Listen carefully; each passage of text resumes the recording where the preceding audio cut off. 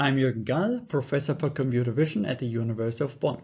I'm also PI of the Excellence Cluster PhenoRob. In this talk, I will talk about representation learning. I want to give you a brief introduction and explain why representation learning is actually relevant for crop production.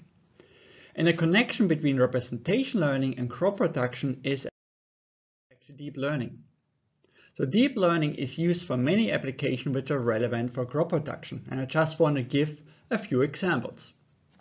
So for instance, the agriculture vision dataset, which is a very large dataset um, which allows to analyze and segment aerial images, um, is one of the examples. So for instance, they annotate images based on different classes like double plant, dry down, or here like the end of a row. And the task is actually given kind of an aerial image, you actually want to um, classify and segment the different patterns. Another example has been done by the group by Chris McCool. Here the cameras are closer to the ground. So they are actually mounted to a moving robot. And then a deep neural network is actually used to distinguish different crops and different types of weeds. And this, for instance, gives you a binary segmentation which distinguish crops which are green and wheat is here shown in red. Another example where deep learning are also used is, for instance, like if you want to recognize symptoms of diseases as early as possible. So this work has been done by the group by Anne-Katrin Mahlein. So here we see an image of sugar beet and for this kind of image of sugar beet, um, the goal here is to recognize the pink parts and this exactly correspond where we have early symptoms of a disease. So this is like examples where deep learning um, have been used and also like the last example is actually from my group where we actually want to recognize nutrient deficiencies. So what we actually get, we get an image like this one and we actually want to predict what is actually missing. Um, and this is like examples here also from uh, sugar beet. So in all these examples, actually deep neural networks are used. And I want to give you just like a brief overview how it works in theory, and then I will explain how it actually works in practice. So in theory, to have this kind of the deep learning methods, we first need to collect training data. So in the example of recognizing nutrient deficiencies, uh, we actually collect data from the Dikopshof, which is like a long-term fertilizer experiment. So here we have different kind of plots, what you can see here, and each of these small plots here, we have a long-standing experiment in terms of adding nutrients. So this is like since 1930. And since we know which kinds of plants have been located in which of the plants, like here, we exactly know this nutrient um, treatment and then can more or less connect them if some kind of nutrient is missing. So having collected the data, the next step is actually the question, what kind of network to take? And what you see here on the right side are simple like different blocks of popular neural networks. So a neural network is nothing else than a combination of many of these blocks. So the blocks here are not that relevant. You simply choose kind of a network and then when you have, or maybe adapted a little bit, and when you have chosen your network, you train your network on the data what you have collected. So this is then the training is done and now you want to apply it for your application. Let's say now you get a new image here again of a sugar beet. And now if you have trained the network, it makes a prediction um, what is actually missing. So we might actually predict if there's certain kind of a deficiency. So that's how it works in theory but that's not how it's done.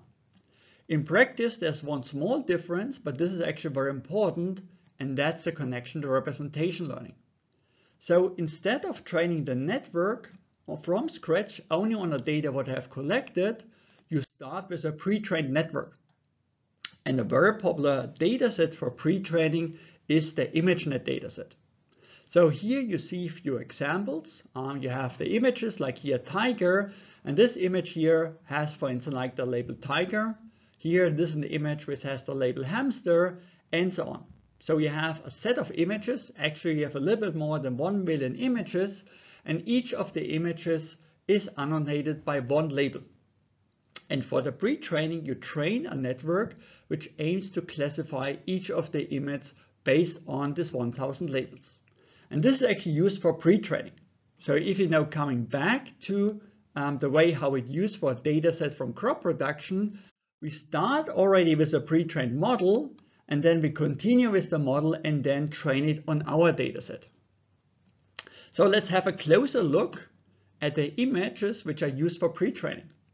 This is, for instance, like um, the standard ImageNet dataset. But before we actually look a little bit closer, I need to introduce some notations. So representation learning, you can simply think about that's nothing else than pre-training the network. And the task which has been actually used for pre-training is called the upstream task. So this is like the example like here when we use uh, image classification. The downstream task, that's the task what is relevant for your application. That means you start with a network which has been already pre-trained and then you apply it to your data set, what you have collected for your problem. And then you continue uh, training the network. So for instance, if you want to recognize nutrient deficiencies. So the main ideas technique is like you do this upstream task only a few times and you can use the pre-trained model for many different downstream tasks. So this is a little bit the motivation behind representation learning. So you first learn a network, which is your representation, and then you use it for very different tasks. So now let's have a closer look at the images which are used for pre-training. And if you look closer at the image, obviously there's the question, why is it relevant for crop production? I mean, if you look at the image, well, at least, yes, it's somehow related to crops, but this is not an image what you would observe in the field. So the image which are there is like instruments, uh, animals, um, scene of a room, again, music instruments, a dog with a hat. So nothing of the images are relevant for crop production. So the question is, does it actually, is it actually needed? Do I need to use this kind of the data set for pre-training the model? And this is at the end what we did at kind of a side experiment. So what you can see in this of table, so it's again the application, we get an image and we want to recognize if there's some uh, nutrient missing. And we analyze like different kind of networks. So all these kind of networks have different names. They also have different sizes. So this is the amount of different parameters which each of the network has. So between 1 and 130 million parameters. But this is not the interesting part. The interesting part is now when we compare the results, if we train the model from scratch only on the data set, what we have collected, or if we use a pre-trained model and then continue training on our data set. So we can look at two aspects. One is the training time so if you look at the training time, well, this is like if I train from scratch, and this is like the training time what I get if I actually start with a pre-trained model. The training time goes down. This is expected because training means like local optimization, and if I have a good or better initialization from a pre-trained model, then I need less time or less iteration until I converge to some local optimum. More interesting, however, is the accuracy. And also here, we see that whatever row by row, whatever network what we do, the accuracy goes up if we use a pre-trained model. And this take into account that if you think about the image what we use, they're not really related for our problem. So, but the good news is, even if my pre-trained model has been trained on a data set which does not contain plants or very different types of plants what I'm interested, it actually helps. So now comes a little bit of question, how important is actually this model or this data set what you use for pre-training? And this has been studied actually in several works, and I just want to um, present some numbers of one of the publications. So what they actually did is like they trained or pre-trained the model on different large data sets. So the standard dataset is the ImageNet dataset, what I've described before. So it is like the image are annotated by roughly 1000 or exactly 1000 different action or class labels. And it has around 1.3 million images. So you can increase the size. So there's also larger version where you have 20,000 different labels for each image and 40 million images. So it's like 10 times the size. And There are also bigger data sets where you actually have 300 million of images. So now what you can do, you can analyze how the pre-training of the different sizes of the dataset, how it affects your accuracy. Uh, and this is actually shown here. So first, the circuits here, they indicate how large the network is. So the bigger the circle is, it means the network has more parameters. The downstream task is also a very simple image classification task. So in this case, is highly related to the dataset what they use for pre-training. And here you see the accuracy what you get for your uh, downstream task. So the higher, the better. At the bottom, you see the accuracy for different datasets, the three datasets which have been used for pre-training. So roughly 1 million images, 50 million images, 300 million images. And we can actually see that the accuracy, if your model is large, actually increases when your pre-training dataset gets larger. In summary, yes, size matters. One can also ask another question. Does the amount of labels, what you use for your pre-training task, does it matter? So I'm not meaning this number of labels of the different classes, but how many labels you have per image or in this example, what we used um, videos. So instead of just annotating a single short video clip only by its action, which would be in this case jet skiing, uh, we added more additional labels to our dataset for pre-training. So for instance, like what is the objects in the video, um, what is the background, and also some attributes. So this gives us a dataset with a roughly a half million of videos and uh, we have all a little bit more than 3000 different types of labels. And each video has verbal labels. So overall, we have a data set um, with around 9 million um, annotated labels. So now comes the question, does it actually help if you add to the action the, all the other labels? Does it improve your results if you use it for pre-training? To analyze it, we pick a downstreaming task, which is called video captioning. So what it is, you get as an input a video. I will show it then in the video very soon. And you actually fine tune a network which actually generates a caption that describes the content of the video. So for instance, this is like a method that generates three captions. The first caption is two men are eating food and talking. The second caption is people eat different snacks. And the third caption that is generated by the network is two men try Mexican food. And I will now play the video. So the video also has some audio and the caption what you see here overlaid are generated by the network. Tomatoes. Then you have a tamale. I'm not really quite sure what a tamale is. It's like a corn husk Mm -hmm. type thing. Um, they're not my favorite. Kind of, um, it looks like a little spicy, actually. Yeah, I think they're pretty spicy. And then this, speaking of spicy, this is a chili. Uh, Obviously, greens and browns is one of those natural colors. So get the top some, and I'm going to come back with some of the yellow. But since that's such a bright color, I knew we were bound to be together, bound to be together. She took my arm. I don't know how it happened. She took the floor and she said. So this just gives you like an idea of the downstream task. So now let's have a closer look how the pre-training, if we add additional labels or different um, annotations to our data for pre-training, how does it actually improve if we then fine tune it for the downstream task of video captioning? So the accuracy of the generated captions per video are measured by the so-called BLEU measure. This is one of the measure which um, measures how plausible the caption is corresponding um, for a given video. And um, if you just pre-train here on uh, videos which are annotated by the action, uh, this gives us the accuracy.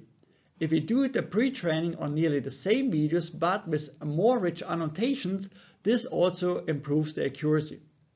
And we can also observe the same if you use a different downstream task. So in this case, it's actually only action recognition. So given the video, I want to recognize what's actually going on in the video. If we train it only for pre-training, only using actions, we get the accuracy of 65%. And if we take the all labels also here, we get a clear improvement. So to summarize, um, pre-training matters a lot. It's not only a way to reduce the training time, but it also has a big impact on the accuracy. And you have to use pre-training if you want good get good results, except that you have your data set already has like million of annotated images. We have also seen, or we know that the size of the data set what you use for pre-training matters. And at the end, one needs to use a data set which has clearly more than 1 million of images. And we have also observed if we go up to 300 million images, we even get, in some cases, even further improvements. And we have also seen that in the context of video at least, that if we add more labels for our pre-training task, it also helps. So having more labels that describe the content for pre-training also improves the accuracy. So this actually gives us the question and what I will a bit ask here, um, do we need in our field of crop production a data set? Because the data sets which are used are not really related to our task. Good thing is, yes, they help, but probably if you would have a large data set, which is actually related to crop production, we would probably get a much bigger improvement in accuracy. So that would require, we would need to have a large data set, which is annotated. Um, and usually we want to have variation in terms of different genotypes, different management, and different environments to have this variability. So in the ideal case, all three are also annotated, and we would like to have this dataset for pre-training. So this obviously means that would be a major effort, which actually goes beyond what like a single group can do, because first you need to collect the data from different locations, and just getting the amount of annotations, we talk about million of annotation, this is also uh, time consuming and expensive. So in partly the annotation part, is the question, do we really need annotations? And there is some kind of a work which actually question um, this part and ask, can we actually do representation learning without the need of manual annotations? And I just want to give you a little bit overview what has been done and what can be done. So let's have a first look how so-called supervised representation learning works. So this is exactly what I've described before. We have a large data set like ImageNet where we have million of images and each image has a label um, to which class it belongs to. And this like illustrated here, let's say we have the images which are dots and the red indicates the label. Let's say this is plant A. The blue dots are images which have a different label for a different plant and the green is like again labels for another class. So if you now train a network which actually aims to classify images based on the labels, what does actually happen? It learns implicit representation where the representation separates the image based on the labels. That means in the learned representation, uh, which is just think of a high dimensional feature space, um, where each image is represented by a high dimensional vector, images which have the same labels are close together um, here like the red one, the blue images and the green images. So we get a separation based on the classes. So this can be also considered in a different way. We can also consider that we have, let's say, if we have a pair, we have two images which have the same label. We want to learn a representation that the distance between the image gets small. So taking these images, or better to say the features of the images, they should be actually pulled together. When we have a pair of two images which have different labels, we want to have a representation where this image are pushed away. We want that the distance between the classes is maximized. But let's have a closer look. Why do we need labels? Because the only thing what we need, we need positive pairs and negative pairs. A positive pair tells me that this images should be pulled together and a negative pair tells me that the two images should be pushed away. And now so-called unsupervised or self-supervised representation learning tries to generate such positive and negative pairs without the need of any annotations.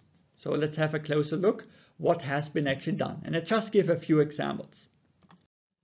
So one way to generate a positive pair is you take only a single image and you apply transformations to the images. So here we have two transformation, the transformation TI. So here you change maybe the contrast. It's like if like the light condition change.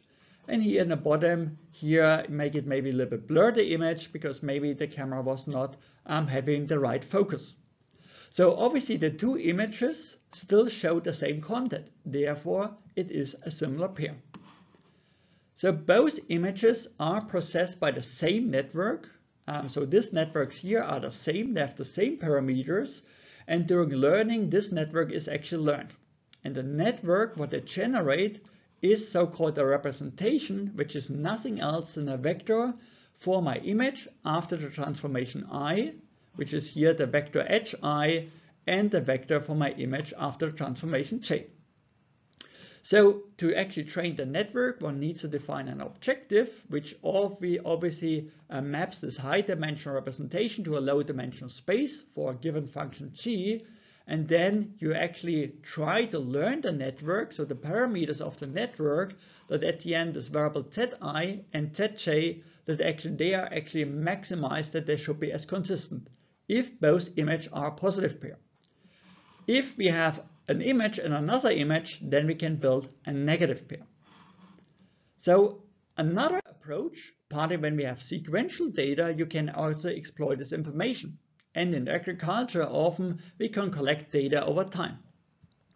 And this actually has been done in this work. So in this case, applying to video, but what we have, we have a video sequence. Just think about you have collected data um, from a drone or from the ground. It's a little bit spatial aligned, but then you observe a little bit how the plant or how it actually um, the growth develops over time. And now for the time series, you can actually use different subsampling. You take every measurement, every second measurement, and so on. And you can also apply some transformation. So for instance, you can apply a random perturbation of all the frames. Um, you can also play the video forward and then playing backward and so on. And instead of generating positive or negative pair, you can also train a network which try to predict the transformation that has been applied. So for instance, like um, what was it like changing the speed, some randomness, and also if it, the speed has changed, how much it has been changed. So in a work, what we also have done, uh, we go a different direction because we do not learn a single representation, but we learn two representations. So what we actually have, we have a temporal sequence of image data. So let's say a long video, and we split the video into small parts. So like the first third of the video, the second third of the video, and the last part of the video. So for each of the videos, uh, we apply our network. So theta are the parameters what we want to learn, and we get our representation. So the first representation what we want to have is a representation which is um, static or stationary, which means if I extract the feature for my entire video, it should be the same feature if I extract it just of parts of my video. So in the first part, the second part, or the last part. So in this way, I want to learn a representation which model the context, the background. So for instance, like, um, like oh, it's like a barkeeper scene, but not really modeling the small changes which are having within the video.